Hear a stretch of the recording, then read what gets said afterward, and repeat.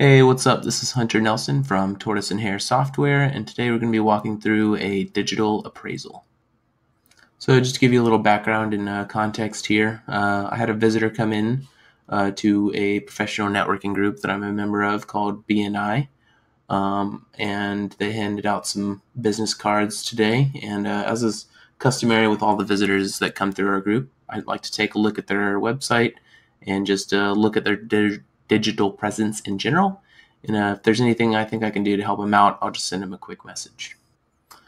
So, the website I took a look at this morning was a pretty flagrant offender of a uh, how not to do a digital presence, and just wanted to kind of share real quickly um, what I saw when I took a look uh, just at a high level of what they had going on.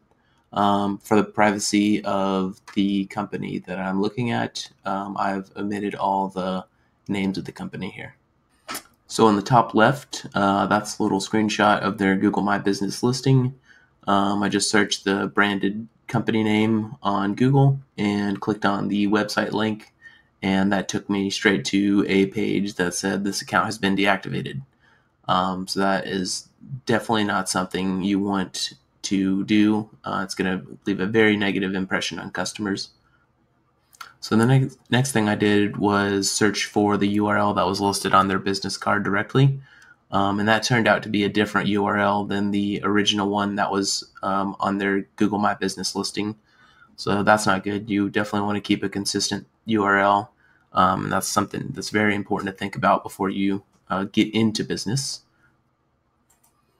And uh, in the top right there, you can just kind of see that they've they've created another site uh, using Squarespace, and you know they filled out some information, but they definitely did not keep their uh, meta descriptions and site titles um, updated or put any effort into that, and that just creates a really negative um, search experience when customers are trying to find your business on Google. Uh, definitely something you want to have cleaned up.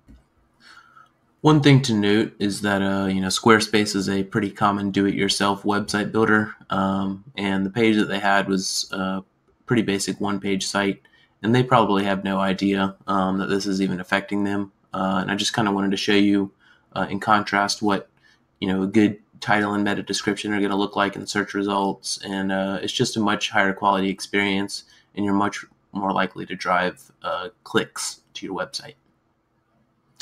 It's also important to note that this is something that's not really detectable by looking at the website um, in its face value.